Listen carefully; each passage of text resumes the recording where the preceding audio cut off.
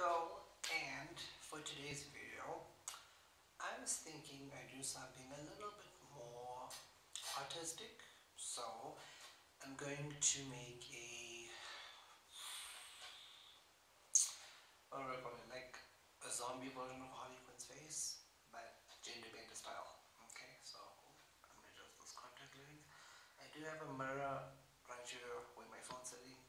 Well, probably won't use for long but can make do for now. Alrighty, so I've got you a couple of things.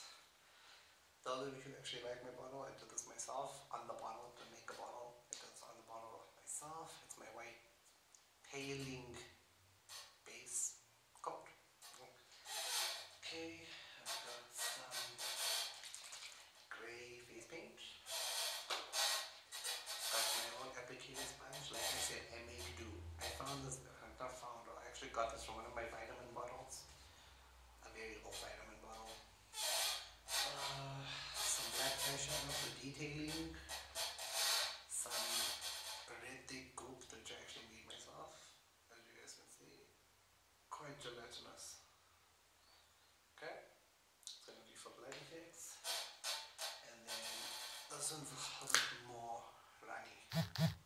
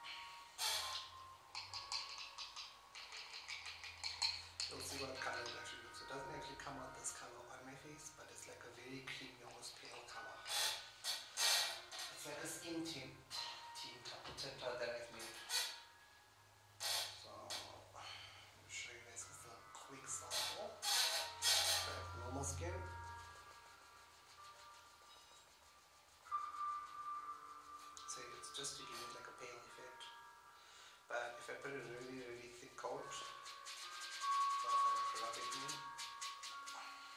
so you guys can see the difference a little bit partially, no. Let me put more in the sponge.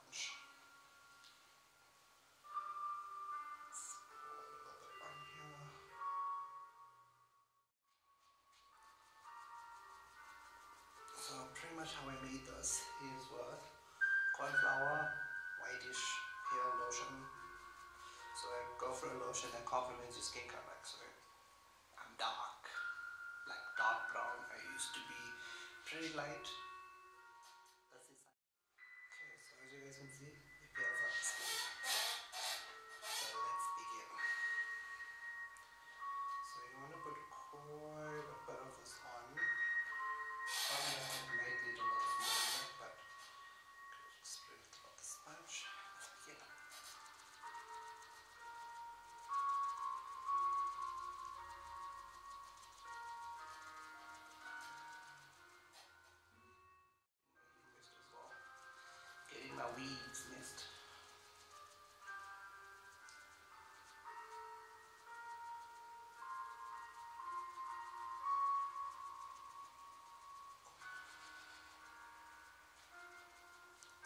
exactly sure what type of a sponge this is, but it's not a very soft sponge. As you can see, it's quite, it's almost like a, what, like a facial sponge, I think. So I'm just gonna blend this in here. As you can see, my face is already looking a little bit more creepier. A little bit more. You can add quite a at a time, but estou saindo agora em metas outra vez, so.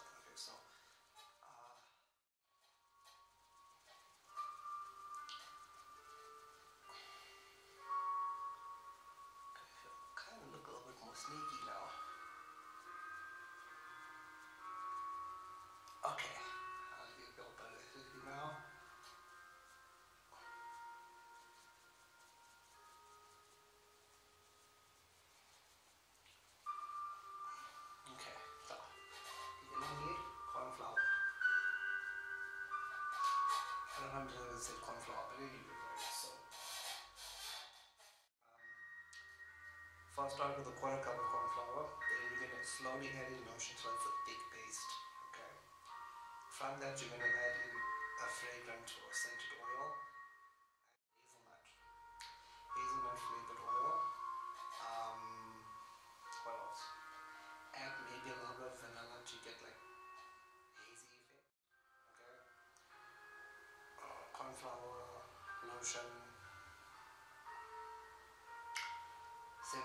oil essential oil. Make sure the oil is not a color oil, so like clear, so like a yellows or clear or maybe a bit of orange even.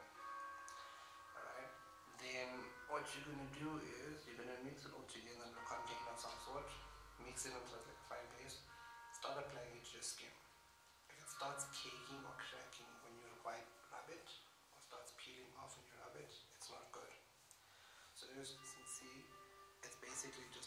shaded over my hairs, but when I do those, it blends in. It doesn't come off. See? Very lightly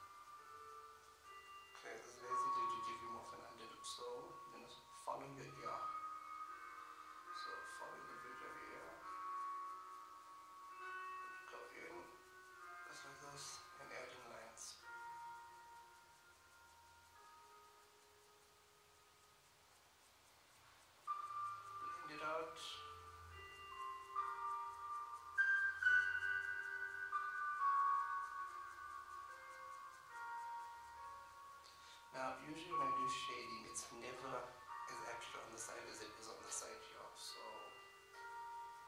it would kind of be something to work on.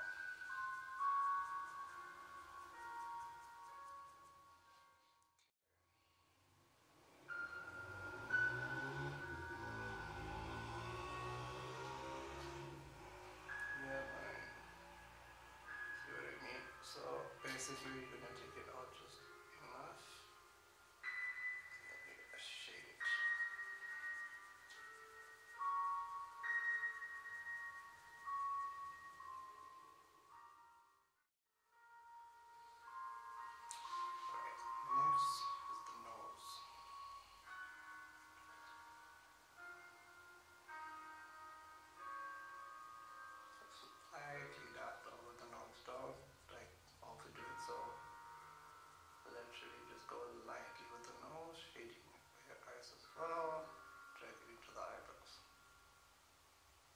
okay very like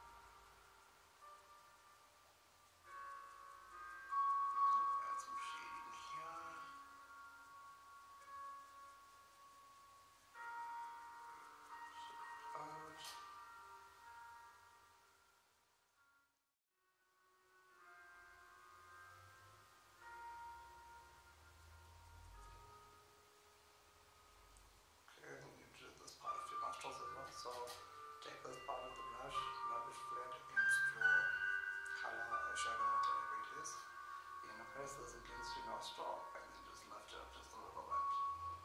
Because you just want your nostril to get more dip.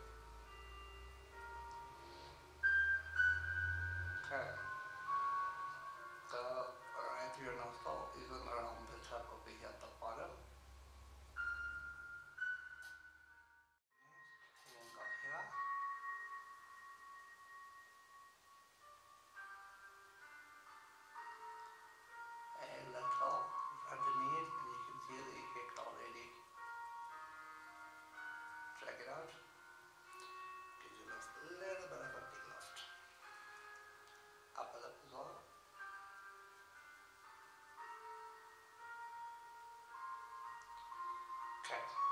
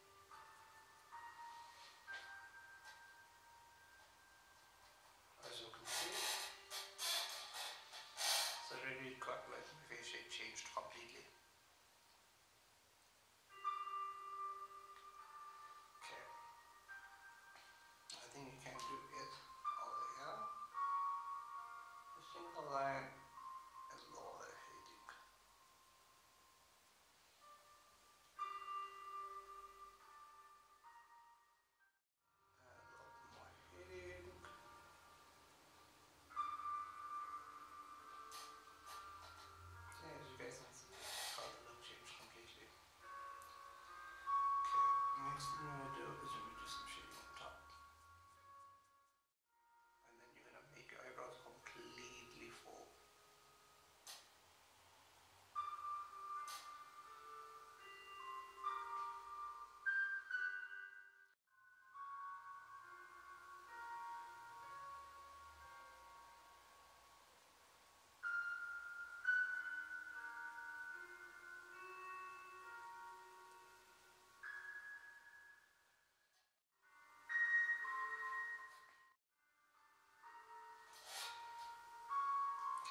so that's the entire shading done.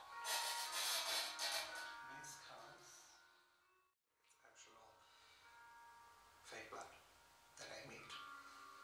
So how I made this is you need to get um, product called CMC or Tylose. So I mean, my mouth always drops my address. Okay, anyway. So CMC or Tylose first going to put water to your desired amount of paste gel that you're going to make. Then you slowly add in a little bit of CMC in because it makes it gelatinous. Okay.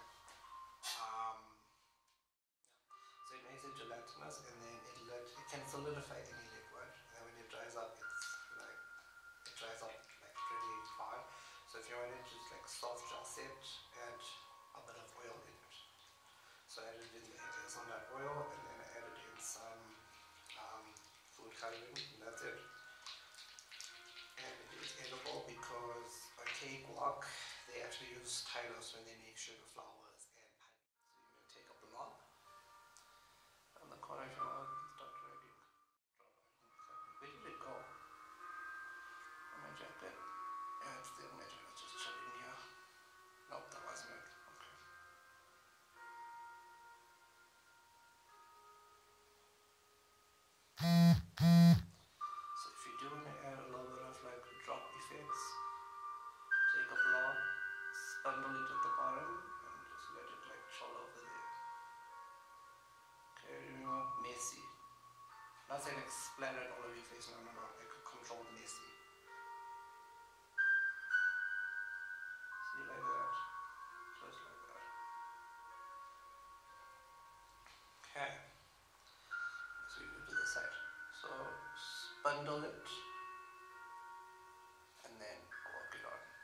use the flat back piece of it to spread it a little bit, get like you know a little bit of it out of the corner of your mouth.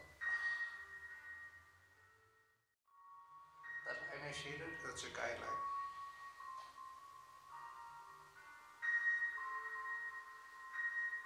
Now, the more infected you want the blood to look, add a little bit of black food gel in as well.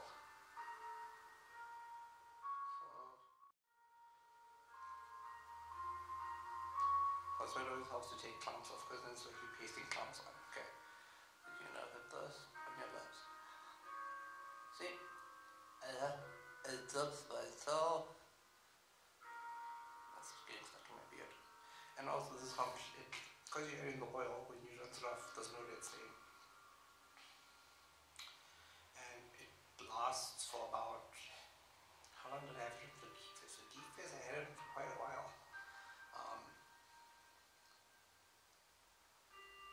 have it on for, I think, like up to six hours. Is how long this will last before it dries up and goes like uh, all weird like. So as you can see, I've already got like looks like it's been gashed pretty good.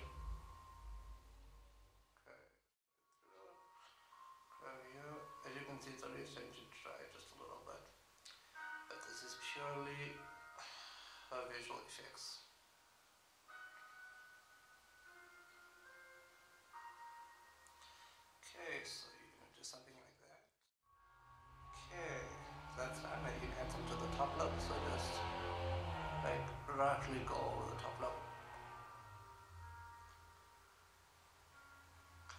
Avoid getting this in your mouth because it's not that it tastes horrible. It's not bad.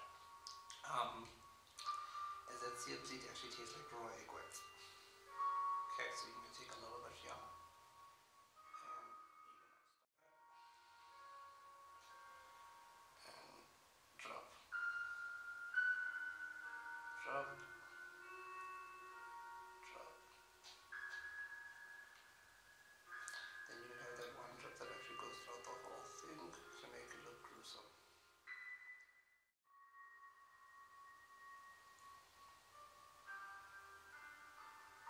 is something you don't want to get into your eye because it gets gelatinous and sticky with it, so you'll be rinsing your eye for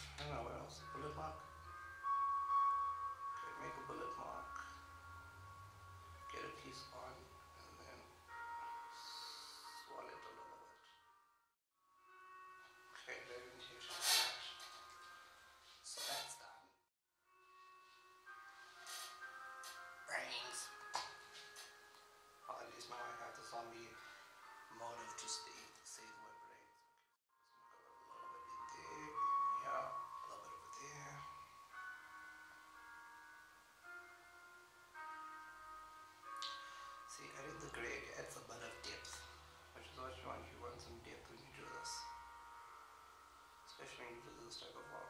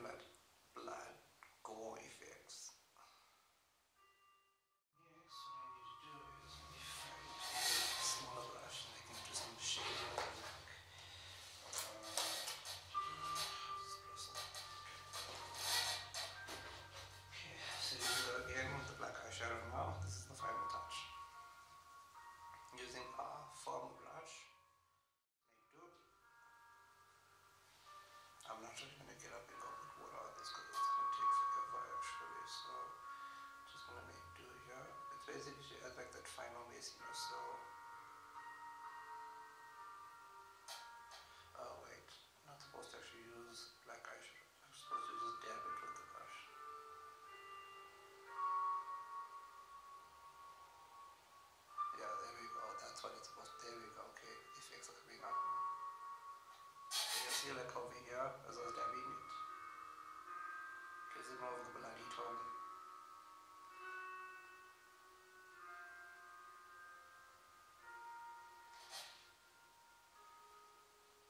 Anybody can become an effects artist, uh, special effects artist, go effects artist. Anybody can become one of those.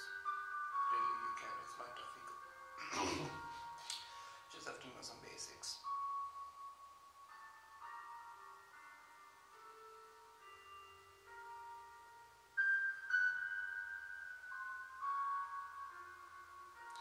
So as you tap the lid over that um, grey, it goes darker.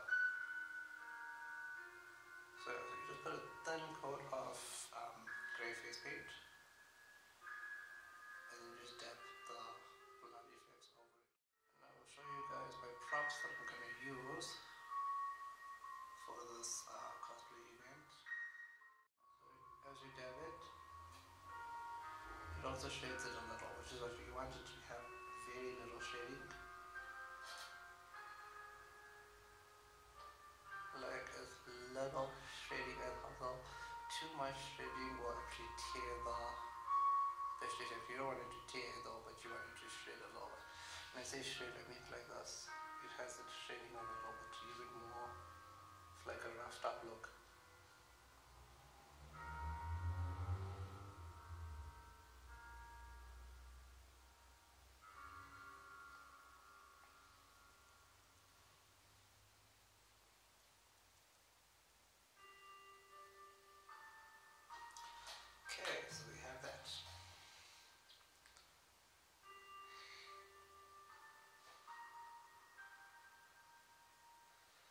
Okay, so that's my zombie look.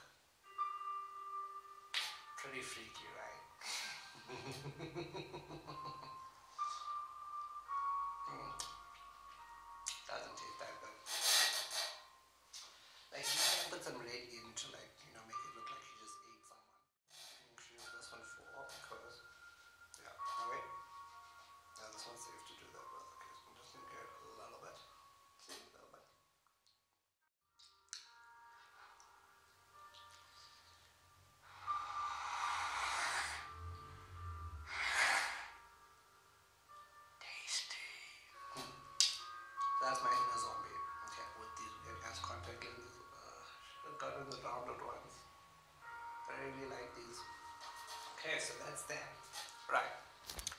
now you guys can see what my inner zombie looks like with the creepy piano playing in the background. So anyway, show you guys my props that I've made for this.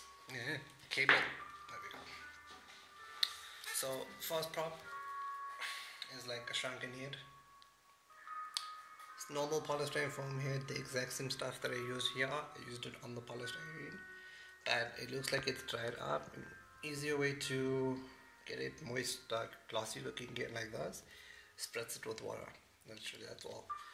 Um, this hair is done with a hot glue gun. Yes, each strand here is a strand of hot glue. The neck, completely hot glue. Um, this is the studs. I think my shoe still has, yeah. On my shoe, I've glued some studs on. Okay. So, my studs is right over here. Coated in hot glue. It's got some skulls going through, and it's actually like a little wooden dagger with a head on it. Like, took the person's head, shrunken head. So, this is the one prop that I'm going to use.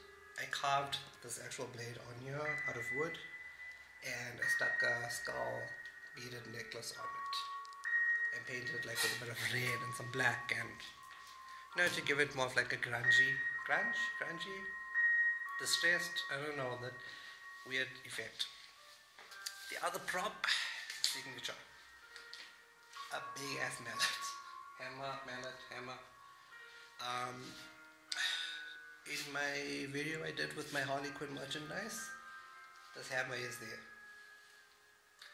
the exact same hammer. So this is my prop. Ow, that actually hurt a little.